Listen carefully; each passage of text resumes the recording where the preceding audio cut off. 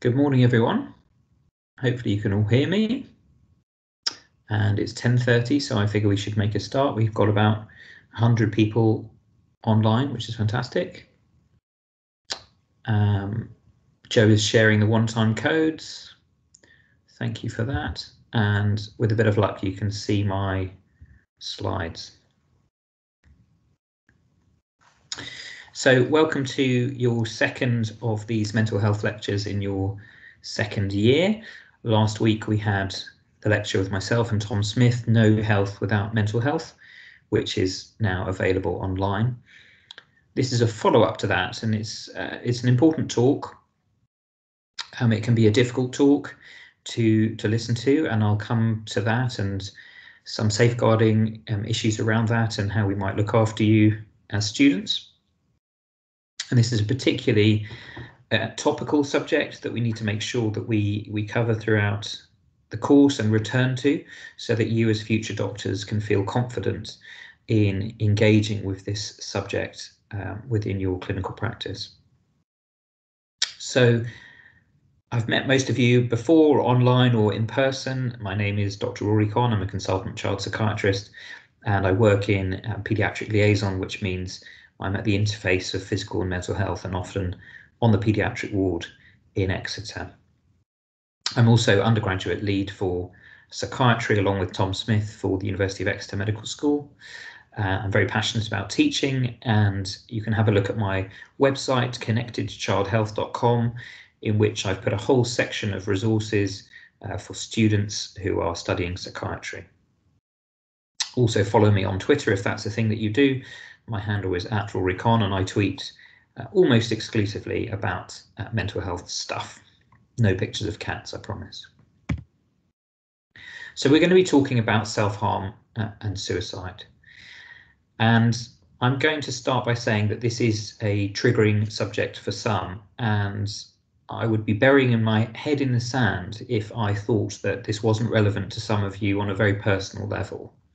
So I have no doubt in a group of over 100 medical students that some of you may have self-harmed historically, some of you may be self-harming, some of you may have had or currently have suicidal thinking because these things are not uncommon and they are more common in people under psychosocial stresses. And medical school is a stressful experience as well as for most a very enjoyable one this isn't something that's traditionally been covered in medical school curricula, topics around self-harm.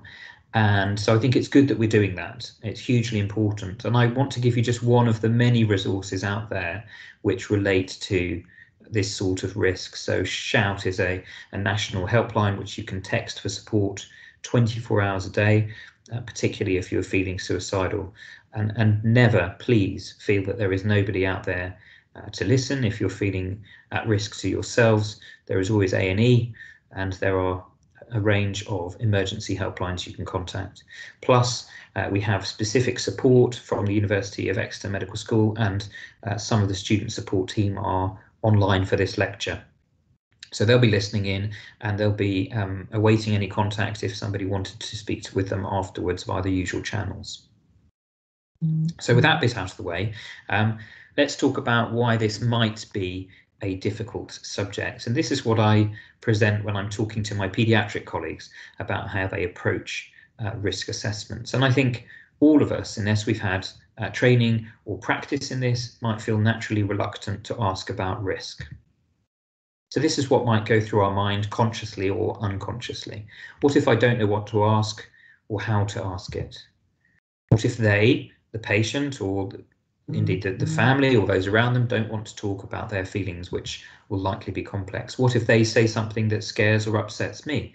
So if you are an individual who has yourself uh, harmed yourself or had thoughts of suicide, what's that like being in the room with someone else who might talk about that? What if the patient asks me a personal question in response? And that's probably a topic for, for a different lecture, but we try and be boundaried as much as we can. At the same time, it's important to be human, and you will find that you develop a practice around how much you're willing to speak about yourself with your patients. What if I don't know the right answer? well, welcome to psychiatry, where there are rarely right answers um, or one particular viewpoint. So, um, especially when someone is in a mental health crisis, um, it's very rare that there is one thing you can do or say that will be the right thing. More commonly, there will be a group of responses and interventions that come together in a holistic way to have meaning for that patient. It is a fallacy to think there must be someone better placed to ask about these things. And I include here examples where medical students have been along to talk to patients on the psychiatric ward, on the paediatric ward, um, who have gleaned really important information around risk. And they clearly have had not, not more training than the mental health team um, involved. If there is an opportunity to speak to a patient with this sort of um, psychiatric presentation, please make sure that you clear that with the clinical team before you go to talk with them, and please make sure that you have a space to debrief thereafter. There's quite a lot of language that's very important around risk and particularly suicide, and I want to bring that to the fore early on. Please avoid the following terms. Committing suicide. Does anyone want to put in the chat function? Because I'd like this to be interactive if we can. Why, why I might encourage you to avoid that particular term, committing suicide.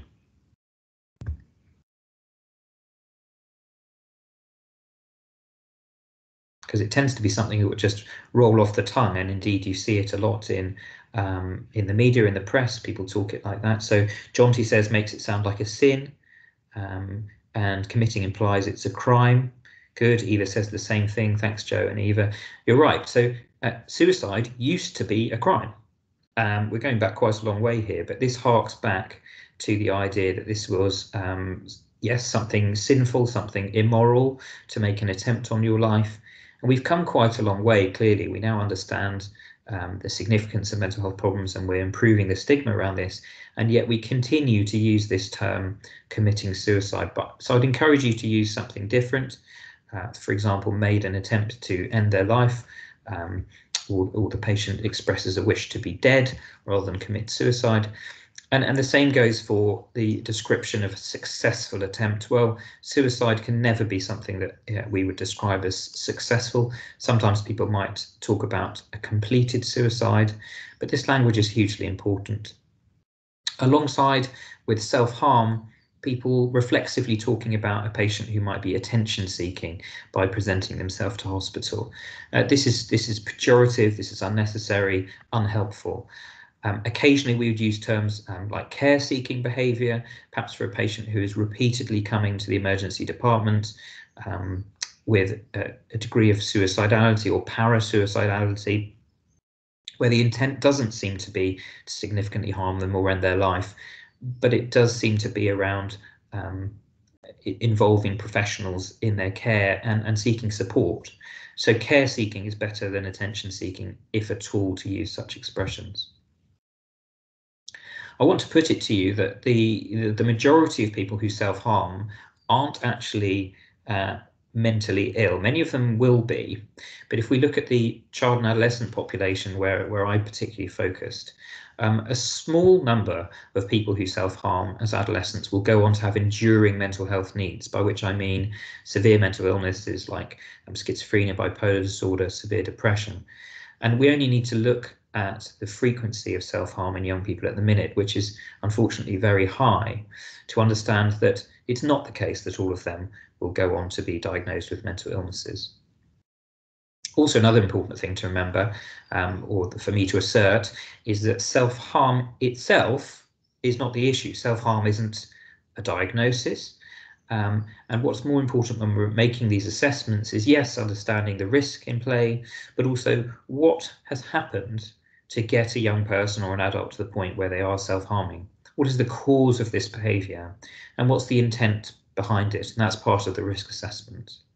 Um, because if we take overdose, for example, I might see one day of the week a young person who's taken 200 ibuprofen, but actually this might have been um, something done on the spur of the moment with no concept that that could be harmful, just a sort of reactive uh, response to a family argument. And the next day I might see a young person who's taken perhaps only six paracetamol, but they genuinely felt that that might um, end their lives. So there's an important distinction there in terms of um, what people are intending when they harm themselves. So it'd be really helpful if people could um, engage with this. And I know this is a difficult subject, but what I'd like to know is um, what have people found works well in their personal experience of talking to others about self-harm?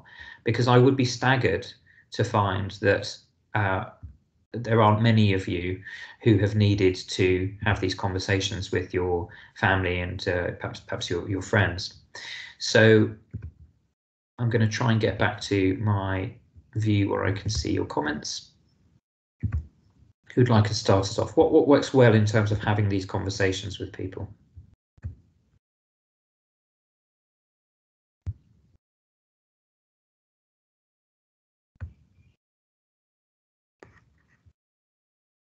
I'm going to come out of the slideshow for a second. There we are.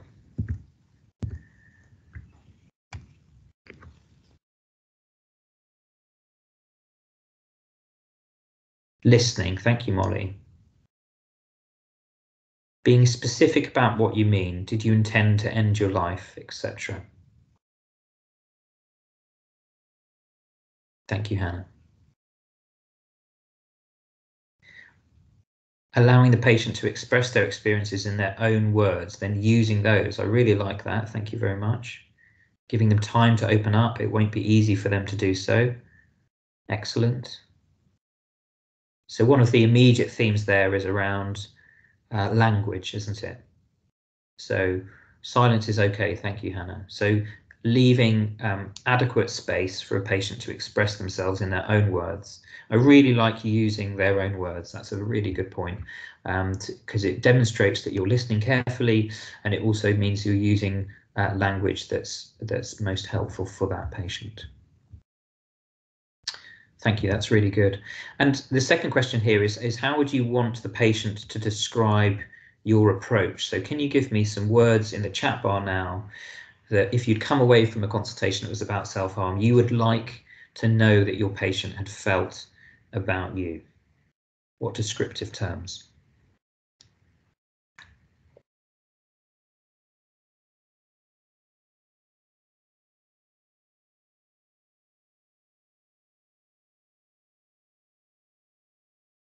I'll start you off with a sentence. So that consultation was helpful because the doctor there we are. To know that you cared, non-judgmental, empathic, understanding, compassionate.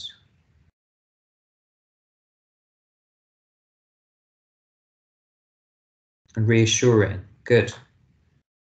So the words you're using here make me feel that you also feel quite quite confident um, in this consultation. And it's possible to go into a clinical environment feeling pretty uncertain about what's going to happen, maybe feeling um, inadequately prepared for what lies ahead, and still for your patient to feel that you have uh, you've understood the situation and you're not thrown by it. Hannah says she'd like um, the, the patients to feel that they'd seen her as a person rather than uh, oh seeing the patient as a person rather than illness or actions. Very good. Very good. So I absolutely agree with all of those. Thank you. Um, and I've put down a few words here that I, I would like to think that my patients and families think about me, that I'm calm, knowledgeable, competent, non-judgmental. And you've got all of these already, really. Trustworthy is very important. I think particularly with young people who are talking about self-harm, might be the first time they've shared it. Uh, it might lead on to um, disclosures about things that have been traumatic or um, abusive in their past. So they've got to feel that this is a clinician who can take on board what they're saying and they're not going to use it in an unhelpful fashion. So throughout this talk, I'm going to talk about some of the principles of how we might conduct a risk assessment. And I want you to, to make some notes on this ideally and, and, and some reflections and then maybe even going away from this um, practice with, with a partner where one of you could pre pretend to be um, a patient who um, is in crisis, another could really get get in tune with how you have these conversations. So risk is actually a very broad subject, um, and it shouldn't be limited to risk of self-harm and suicide. it's also multifactorial. And what I mean by that is it's very rarely the case that um, incident X has led to risk Y.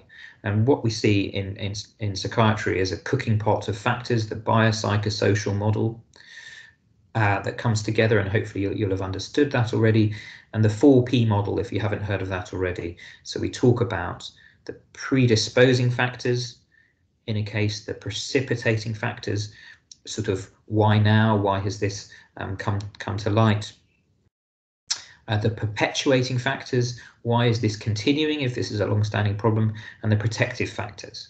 What is it that, that might be helpful for this young person or adult in terms of decreasing suicidal risk?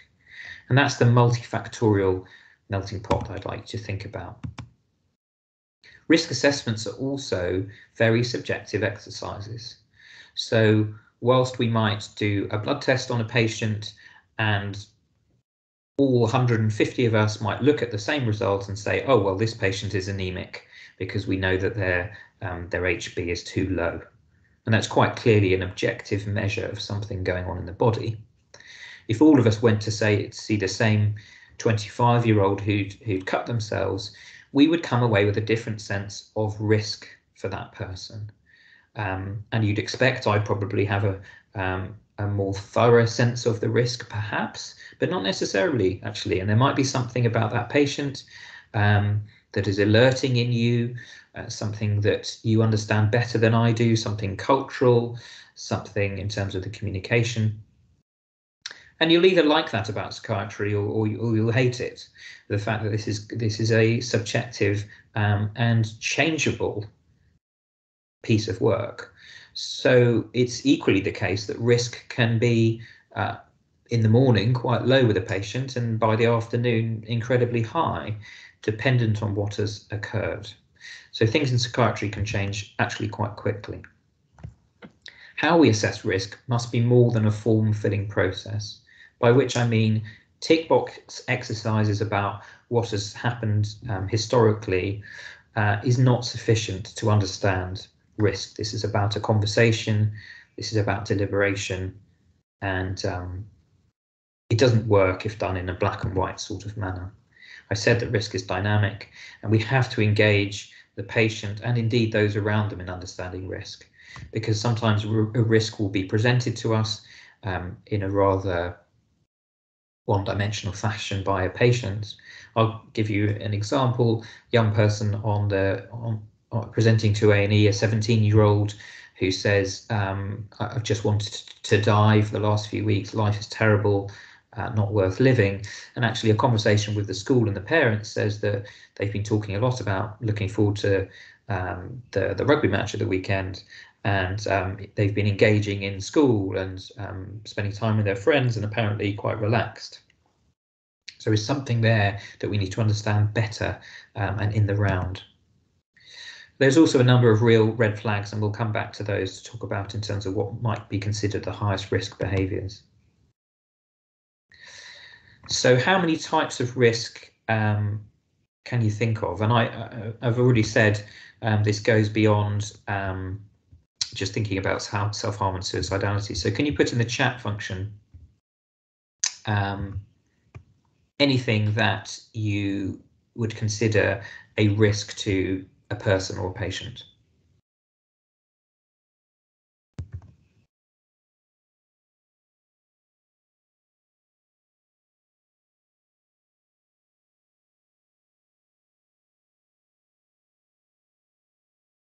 Hannah says risk to self and, and risk to others. Very good. So sometimes in psychiatric practice, we find ourselves assessing um, the risk of a patient to someone else, although it's important to say in terms of you understanding about psychiatry, it's really a myth that mental health patients are dangerous. That's not correct. Um, okay, leaving home if they're young. Okay, so um, the risk of, um, I suppose what you might be meaning there is is homelessness, but also risks around transition from being in a supportive environment to somewhere uh, much more independent. And some of you, uh, you know, your second year of um, medical school, you moved in a pandemic to start a new life in a different part of the country or the world, uh, it would have been risky for you in, in lots of ways, psychologically, certainly. Financial risk is a really important one. Marco, thank you for that. So we might think about a patient with a manic episode who is um, spending thousands of pounds online with with gambling or um, you know an an uh, um, an idea that they have um, which might be driven by some delusional thoughts. So yes, financial risks is important. Anything else in terms of risk we want to share? Safeguarding risks in children, excellent. So risks from others. Um, and that doesn't just apply to children, you know, there are safeguarding of adults. So if you are a 50 year old with chronic schizophrenia who is struggling to, to, to function and needing and needing care from that point of view, or if you're an 11 year old with an acute anxiety disorder, not leaving the house, not attending school, these are people who might be at risk from others in a safeguarding sense. That's fantastic. Thank you, Joe. So I'll go back to presenting these. Actually, there are there are tons of risks really. Harm to self, harm from others, and we might list the various forms of, of abuse there. Harm to others, and in forensic psychiatry, some of the red flags include things like uh, harming animals and um, arson. So things like um, dissocial personality disorder, uh, psychopathy can be related in early life with, with those sorts of things.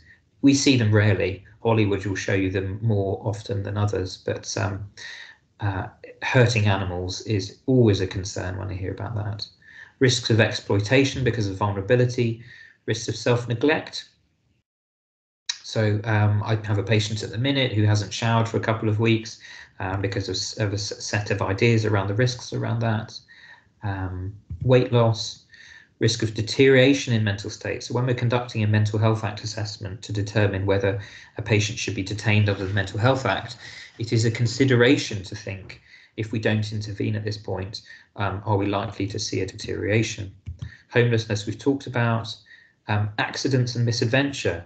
That's really important. So again, a patient who might be in a hypomanic or manic state, acting impulsively, not sleeping, driving too fast, um, taking drugs and so on. Risks to occupation, education and reputation. So what if in the course of somebody being uh, very ill, they damage their standing in society or um, their, their relationships or they um, perhaps fall out of college because they haven't been treated for this problem. Financial, we've talked about, psychological, and it goes on. So I wanted to show you that risk is actually a broad subject and much bigger than, than simply self-harm.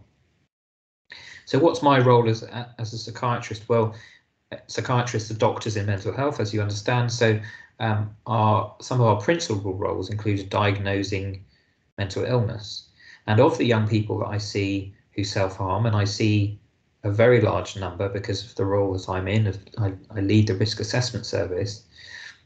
Um, it's actually much more common that I would come away having seen a young person who's taken an overdose, determining actually this isn't mental illness, than it is that I come away thinking this is a severe depression or um, a psychotic disorder or so on.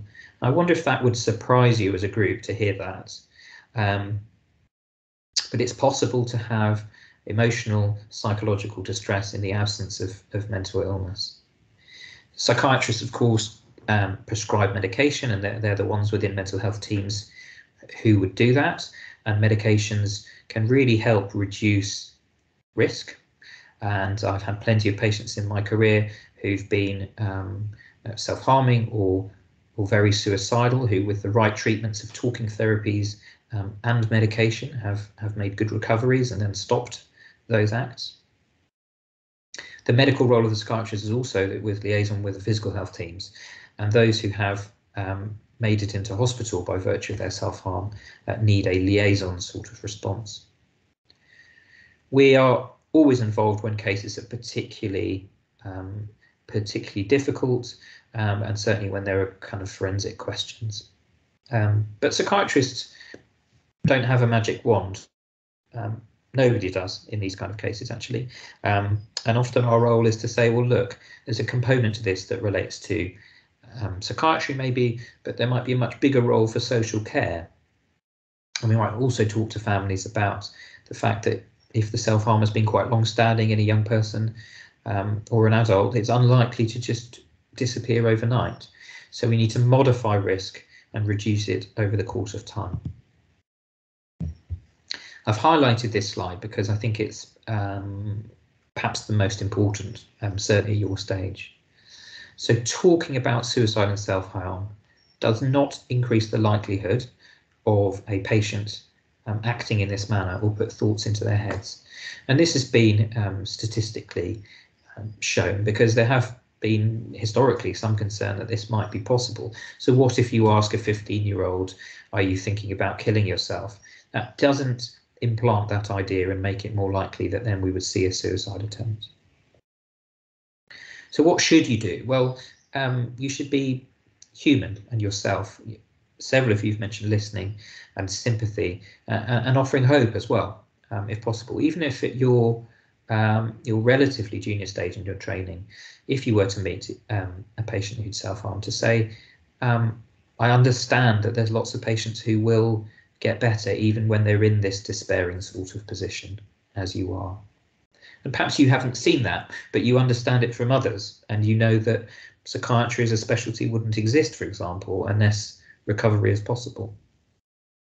A really good question in the moment, and not just in, in psychiatry and this particular area of psychiatry, but in all of medicine, is to ask, what can I do to support you right now? And that acknowledges the fact that there's unlikely to be um, an immediate solution, as we've discussed.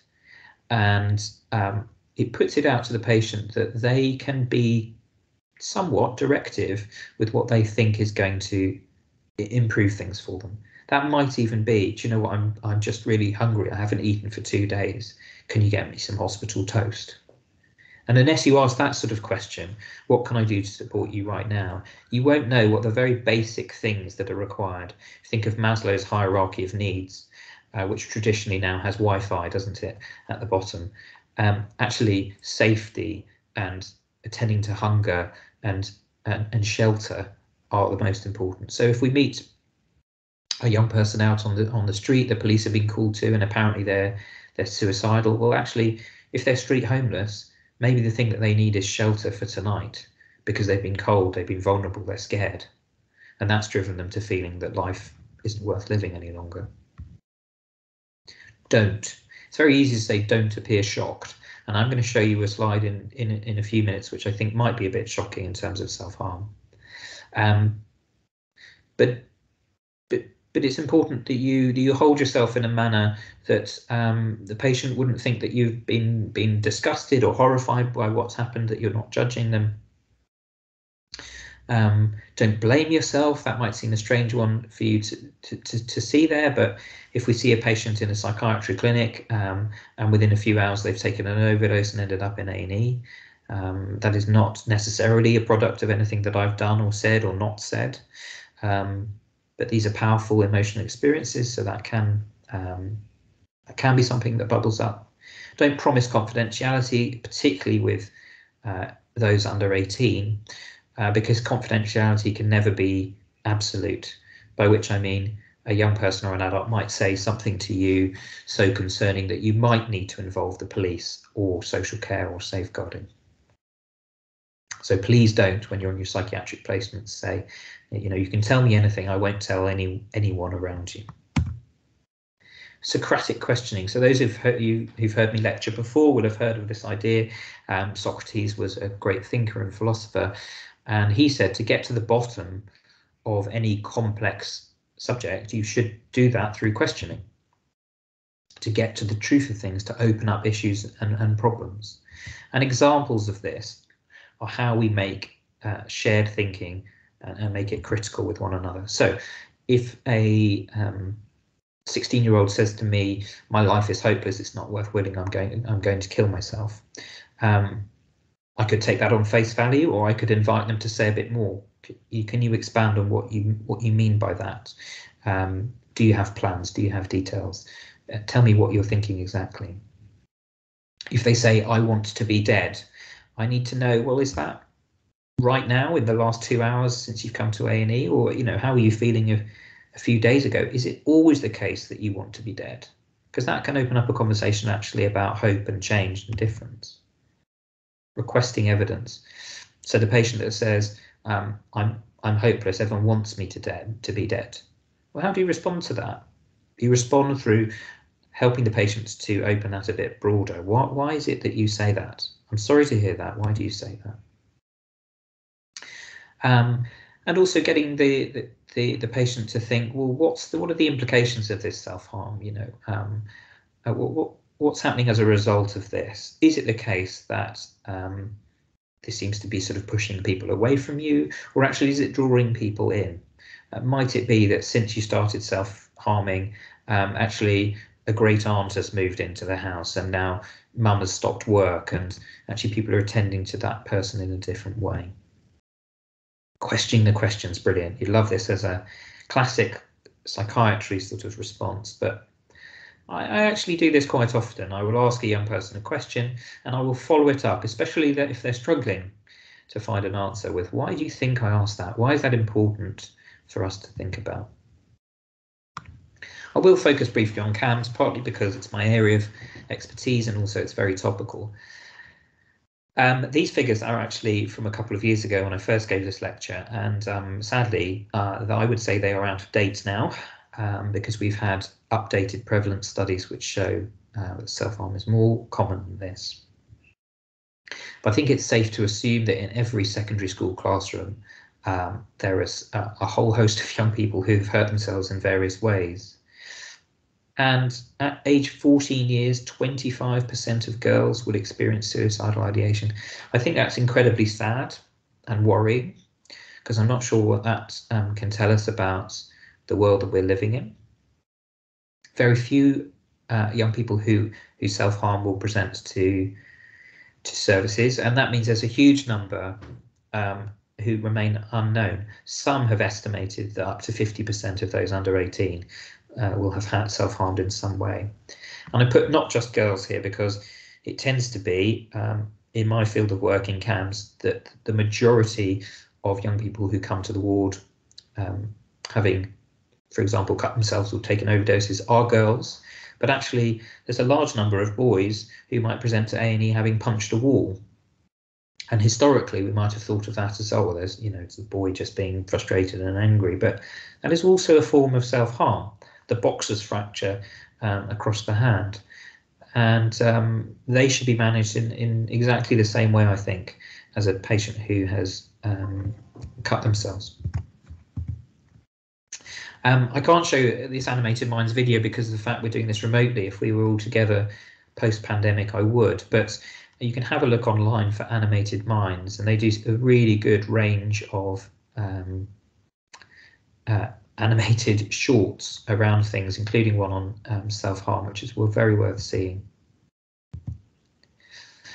So there are narratives around self-harm, and um, I'm going to read a little bit of this. This is written by um, a teenager when asked to to write down what relationship they have with self-harm. I hate my life, but I'm to blame. Hurting myself keeps me tame. Watching the blood rush from my arm, this is the life, the life of self-harm. The first cup is always so deep, but I feel so much better seeing the blood seep. It's graphic, isn't it? And it's um, it's quite disturbing, really. Feel all alone in my own little world. What's happening to me? I was a sweet little girl. Everything is wrong. Nothing goes right, relieving my pain in the dead of night. I wear long jumpers so no one can see what I've been doing to poor old me. All this pain is just in my head, it doesn't seem to go, and I wish I were dead. All of this hurt surely must end. Maybe I can get help from one of my friends. But what will they think of this silly little girl always suffering in her own little world? What are people's immediate responses to to hearing that? I'm going to shift back to the um, chat function now.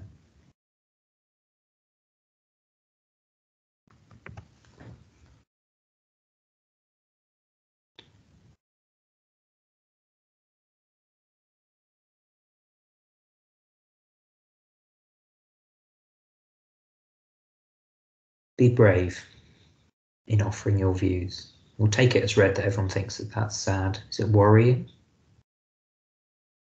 Very low self-esteem, Jasmine has said. Thank you, that's really helpful. Sad to see how isolated she feels. Aisha, thank you.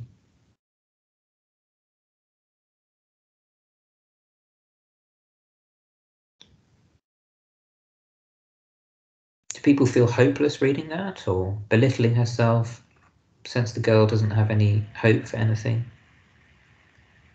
Hannah says incredibly self-aware, which is quite powerful. That's really interesting. So um, very reflective, isn't it? Very insightful about her own feelings. Sometimes we use a term for people who struggle to do that called alexithymia. A being an absence of lexi words, thymia mood. So this young person versus another who might, when I ask, you know, how are you feeling? Tell me a bit about yourself and the self-harm, they just say, I don't know. This is actually a young person who's got really good sense of exploration, I think. Um, not seen by anyone else that she's suffering. Thank you.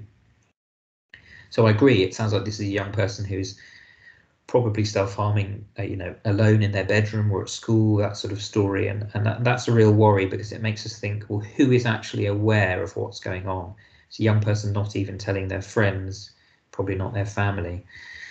So there are risks with that um, more so than than a young person whom we know to be um, talking to to teachers and so on. So we go to speak to this young person, and I'm going to put it to you that you need to be courageous, really. Um, I won't do it a sort of poll, but if I asked you how many of you would be confident going to talk to this 15 year old, um, I can imagine that probably no one would feel completely confident, but maybe, I don't know, a fifth or a third of you would think, yeah, I could give this a good crack. I can talk to this child about what's going on. So young people um, and adults, I would suggest as well, some can report that their, self-harm or suicidal feelings can initially make their situation worse if they talk about them. And that might be some of the reluctance to, for example, having your patient, your, your parent become aware that you are harming yourself. Um, and particularly in the case of uh, safeguarding um, issues, um, it can lead to more worry and distress for the young person. But invariably, I say to young people, it's good to talk about these things. It's good for us to be aware of what is going on in your life so we can help with it. But children and young people, that's CYP, often worry about the reaction they'll get from professionals. And this can be something that is um, a block to them talking openly. Uh, so, you know, last time I went to A&E, uh, the doctor just said I, I was silly and this wasn't even proper self-harm and I should just go home. That is not a helpful response, clearly, in terms of letting this young people person explore what's going on for them. Why do children and young people self-harm? So acts of self-harm can be symptoms of distress rather than, as I've said, um, signs of, of, mental illness. I've talked about the importance of the act uh, and, and its meaning. And so it's really key that we don't generalize about young people who self-harm. And there could be two young people with almost exactly the same looking set of um, cuts or patterns of overdosing who have very different life stories and um, are doing it for very different reasons. For many, especially the young people, this is a method of coping um, with the world. And the increase in self harm and restricted eating and suicidality during this pandemic, I think, has been driven by the loss of control. So young people have lost structure in life, they've lost predictability, they've, they've lost safety, the sense of you can't even go out of your house without feeling unsafe um, is a hugely powerful thing to consider, I think, um, for you know for adults as well as young people. And young people have been shut away and struggling with their their inner world, and they might find that they felt rather numb or low or empty. And unfortunately, it can be to a degree addictive, not in the way that people get withdrawal from opiates, um, but this is can be kind of self-reinforcing. So there's a cycle here of self-harm. How negative emotions um, lead to a sense of um, tension or frustration, or feelings of being unable to cope. The self-harm for some young people, they say, well, I I find it helps me, and they get a release of endorphins. and for a short period of time, the negative feelings might go. It's incredibly rare for young people and adults to say, I enjoy self harm. I have heard it, and I usually challenge it. I usually say, Is that really what you mean? Um, because for the most part, this isn't an enjoyable experience. People don't come to A&E with frequent self-harm because they think it's fun. This isn't enjoyable. Unfortunately, after the self-harm, there's normally then um, waves of, of, of, guilt and, and shame, um, and often the repercussions, especially for young people, of the reaction from parents and, and peers and so on. And then that compounds the negative emotions at the start. I'm going to touch on intellectual disabilities because this area isn't thought about all that much when it comes to self-harm. But people with severe learning disabilities, LD, can um, display what could be perceived by others as self-harming behaviours. Um, and sometimes it's described as self-injurious behaviour. But there are other functions of this behaviour to consider. So this might be an act very similar to someone without a learning disability, but quite commonly um, they are about uh, sensory stimulation. So to compensate for feeling over or understimulated. Um, and so young people who might hit or bite themselves, um, I can think of examples of people in um, learning disability residential settings who have a tendency to, to headbang, for example. But that might be about um, not feeling understood or not being able to communicate. Or it might be a mechanism, the best that they have, of um, describing a problem. For example, that repeated hitting on the side of the head, which could be seen as self-harm, but actually draws attention, the doctor's attention, the parents' attention to the fact that there, there's something going on, there's pain here that they can't express.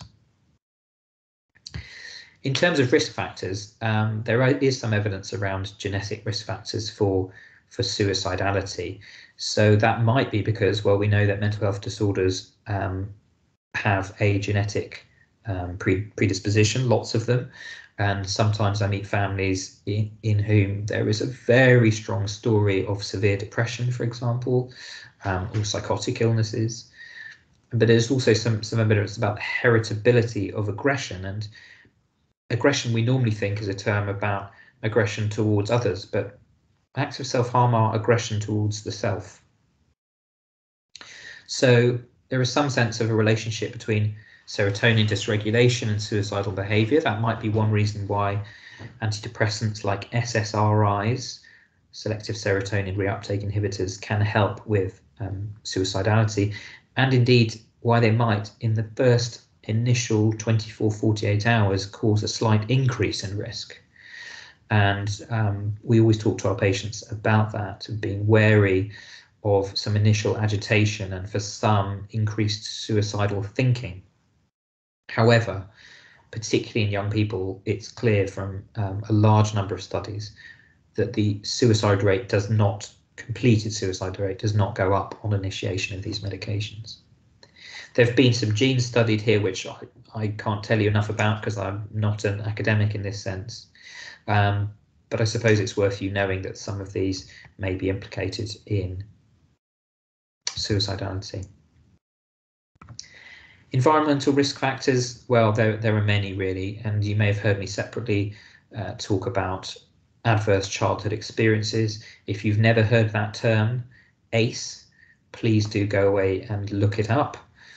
Um, we now know that statistically, the more adverse childhood experiences a young person has, uh, the rates of mental illness and risks of self-harm and suicidality are multiplied significantly. And in a way, that's not surprising, but there are 10 well-known adverse childhood experiences, such as um, mental illness in a parent, such as abuse, um, parental separation, and so on. And risk factors in terms of availability of a means of of, of suicide. So I am more concerned about the young person who lives right next to a train track or lives on a coastal area next to a high cliff. And that is going to modify um, some of my thinking around um, their suicidal risk, especially if they tell me I've been thinking about going to a train track well, then I want to know from that young person where is the nearest train track. And there's quite a difference between living right in the middle of the countryside, away from any train, to being, uh, you know, back backing onto a track. There are a number of psychological risk factors for this sort of behaviour, um, and I would uh, put a few forwards to you. Dichotomous thinking, um, and this is sort of the, the, black and white position, if you like, of life. Life is terrible, therefore I need to die. It's a very binary black or white. There's no grey area of things are really hard at the minute, but perhaps they might improve. Um, people who have an external locus of control, this sense that, well, everything always happens to me, rather than a sense of having some some agency and impaired problem solving. Well, that might be because of difficulties with executive function. It might be also um, to do with, with other learning needs and so on. And their personality characteristics, well, these are a bit difficult to disentangle because they might relate to the mental illness itself, um, but they are important in assessing risk. So what does self-harm look like? I'm going to show a slide now which demonstrates some self-harm and if you want to look away now because it's going to be triggering for you then by all means do. Um, I've been given permission to show this slide by a patient I looked after some years ago in an inpatient unit. And I'm going to ask you as a group um, to put in the chat what questions you would have for this young person when looking. This is their arm, by the way, um, when looking at this. So I need to now see my chat. Oh, I see there's some comments here. Thank you. Um, is pica counted as self-harm? I'll just cover this one from Hannah whilst other people are typing some things. Well, no, so pica is when um, usually very young kids eat unusual substances like um, wallpaper and soil.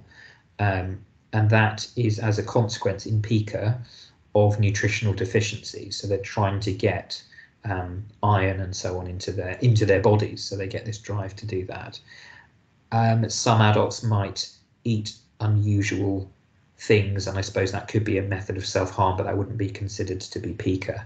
Um, I mean, I've looked after patients in the last few years who've swallowed batteries and razor blades and that sort of thing. But pica is specific to nutritional deficiencies.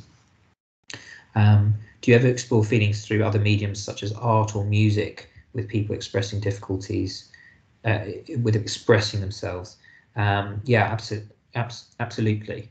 Um, and not everyone is going to be a good candidate for talking therapies, but we should have services that can adapt and demonstrate um, you know other, other options. So no one's posted any questions here but believe me you need to have questions for this young person. How are you going to start with asking about this?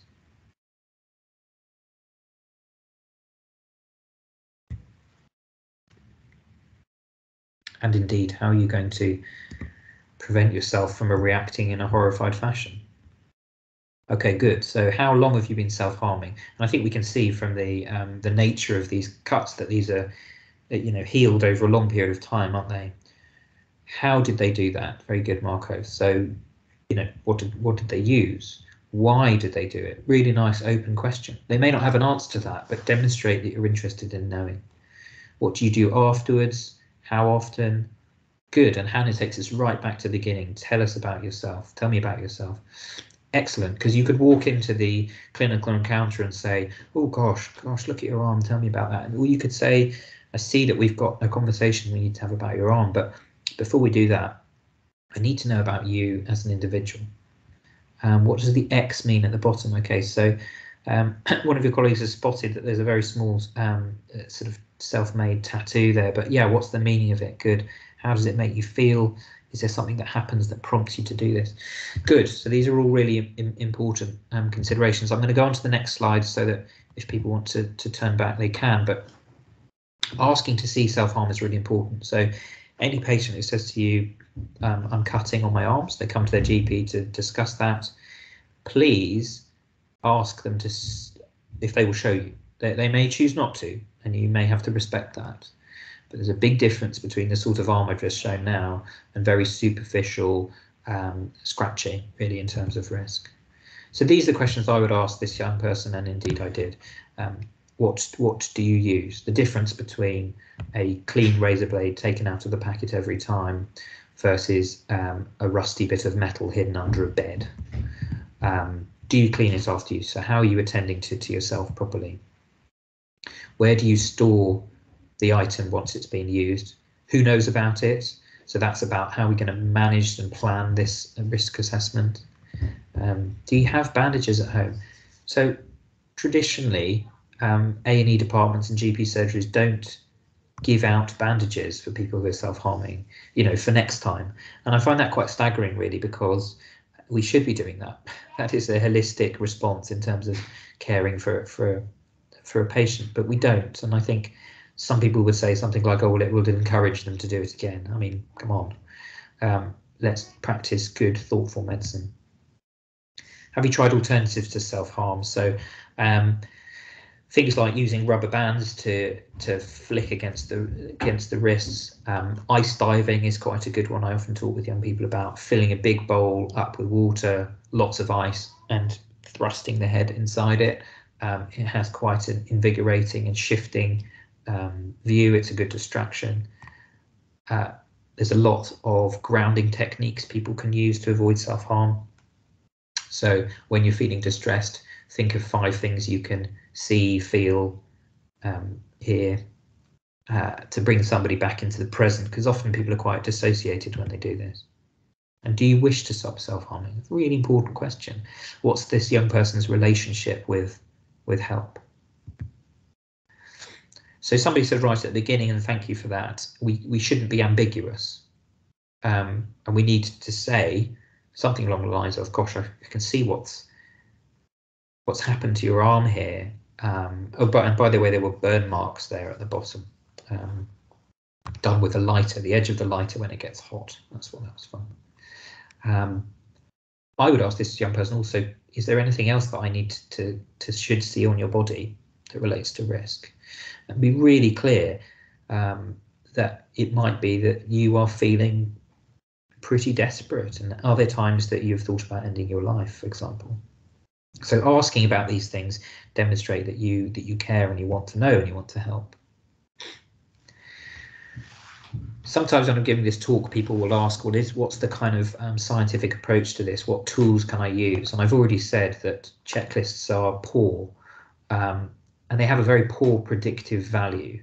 Predictive value meaning being able to say what is going to happen next, really.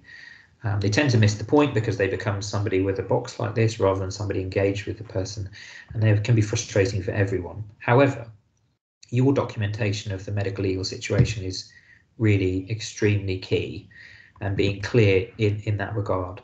So I tend to use, especially with young people, uh, simple uh, numeric scales to help people make a judgment around their around their mood and their suicidality. So you've maybe come across this idea before of saying, on a scale of 0 to 10 how are you feeling? But being really explicit about well what do i mean by 10 out of 10 and 0 out of 10 it'd be easy to get those things the wrong way around actually as well um, in, the, in your patient's head.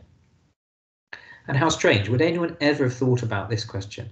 How much do you want to be alive as a percentage i mean very strange isn't it is that scientific? No, not really. Is it a springboard to a conversation about how we would get them from 10% to 50% and thereafter to improve it. So these are about how you initiate conversations about abstract topics. There are some acronyms out there, but this is just if you like this kind of thing, really. Um, it's a bit like the ones that exist for um, alcohol dependency, for example. And you could Google this one, the, the, the pathos approach.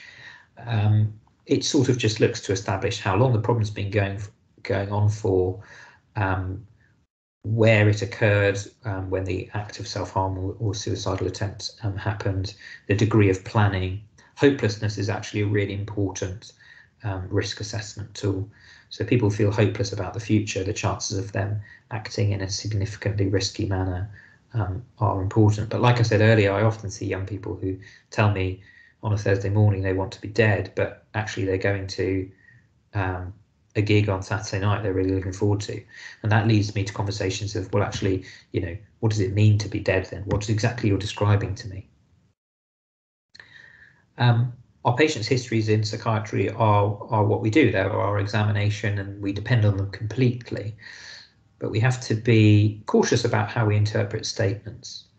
So sometimes patients will say something like, I'm fine now, I wouldn't do it again. But that's a very basic response to a complicated situation. And I'm always cautious when I hear that there's been an immediate resolution of suicidality because it calls into question whether that has actually happened. Um, and to be honest, if somebody comes to hospital having tried to end their lives and actually all they're thinking about is, I need to get out of here so I can try again, they're not going to tell the professional, generally speaking, um, about what their plan is. So we need to approach this with, with caution. Is their report consistent with the action undertaken? So um, the 30 year old man who goes to the woods with a, a piece of rope um, and is actively um, hanging when a member of the public cuts him down and then says, No, I'm fine, uh, I just want to go home. Uh, it's a very significant, very potentially lethal action and um, I'd be really concerned, and I wouldn't take that report at face value, to be honest. So does the collateral history, those around the person, support what they're saying? And what has changed? So if a patient tells you, actually, it's different now, I'm not going to do this again. What's different? Maybe you've had a really good interaction with the family of the young person and, and, and they feel relieved. So maybe that is okay. And, you know, we get them home very straightforwardly. Um, but I would want to know what's changed if the risk has apparently changed. How do you feel now about what's happened? Is a good question. When did you decide to do X? Gives you a sense of impulsivity versus planning, and what have been the consequences? Might you do it again? So we're almost at the hour, um, and I'm going to have a think about um, if any of these other slides are, are essential, really. But what I want to do is just invite um, some questions because we've covered quite a lot there. Um, and it's been, uh, it's difficult. Okay, so um, Hannah says, how often do people claim to have self-harmed to cover up abuse? So that's interesting. I guess what you mean is a sort of adult who comes with bruising on their arm and says it's self-inflicted. Um, I've never seen that never, but I think it'd be really important to be mindful of it and, and thoughtful about it. I mean, there's patterns of um, of bruising that would be more suggestive of something like domestic violence occurring. Um, but clearly, yes, I mean, a finger finger marks of a bruise like this could be self-inflicted, or they could be from someone grabbing at you. What other questions do people have? or reflections. And feel free to say, look, this has been a horrible talk. I wish we hadn't had it. Or, um, you know, it's good we're talking about this. What, what do you think? Hi, Rory. I, sorry, I'm easier to, to possibly yeah. say this one. Yeah. Um, thank you very much for this so far. It's been really interesting. Um, I guess so. With with other areas of medicine, patient choice is a big part of it. Um, in terms of kind of deciding where their treatments go. Ultimately, is there any kind of reason why patients aren't allowed to commit suicide? Is that a, you know, it? why is it that medical professionals or, or people in general, you know, people aren't aren't allowed to, or, or we see it as as not a valid choice? Um, yeah, well, that's. And I know that's a really just a kind of worms, but it's a big, it's a big question. It's an important philosophical one. Uh, there are cultural components to this. Um, if you go to Japan, for example, uh, there is some. So I've never worked or lived in Japan, but I do understand um, it's viewed slightly differently. And men going. I didn't understand that. Men men going off into woodlands to kill themselves can be seen as honourable. Um, I guess the thing is we don't allow people to do it um, when it is a product of a treatable mental illness. And I say don't allow it. You know, unfortunately, suicides occur, so we can't prevent all of them. Some people believe there should be a, a drive towards zero suicides. Um, I think it's a bit like saying, um, well, if somebody um, has cancer and they don't want treatment, well, that's fine if they have capacity to decide that. And um, the difference in mental health is that capacity might be impaired by virtue of a mental illness which is treatable. So, you know, I think it's a it's a big that's a big topic, isn't it? Um, but generally speaking, yes, it is considered that people um, shouldn't end their lives if it is related to illness. Um, I'm going to have time for maybe one more question, then we're going to have to end, I'm afraid. Um, let's see, how do you manage transference or like the heaviness you would feel after these discussions? It's a really good question. What you actually mean here is, is countertransference. Transference is what our patients feel about us. Countertransference um, is what we feel about them and the scenario, and this can be very um, evocative. The heaviness you feel, that's a great word, heaviness. Um, it can be upsetting, certainly, and, and stressful, but actually someone has to do this work and it can be really rewarding. Uh, it's a lot of meaning in terms of hearing um, about people's lives in this way. Um, so I guess I manage it through um, supervision, through talking with peers. Um, my wife's a doctor, that helps. And um, yeah, you get accustomed to it without being numbed to it, I would say. Um, right, I think we're going to have to end because I will always enthusiastically go over my time. And um, I really appreciate um, the interactions we've had. Thank you. I'll just say again, um, please do speak with student support if this has been a troubling thing for you to listen to. And please do seek out help if you are feeling at risk to yourself. Have a lovely Friday, and I'm hoping this will be available to you as a recording soon enough. Take care.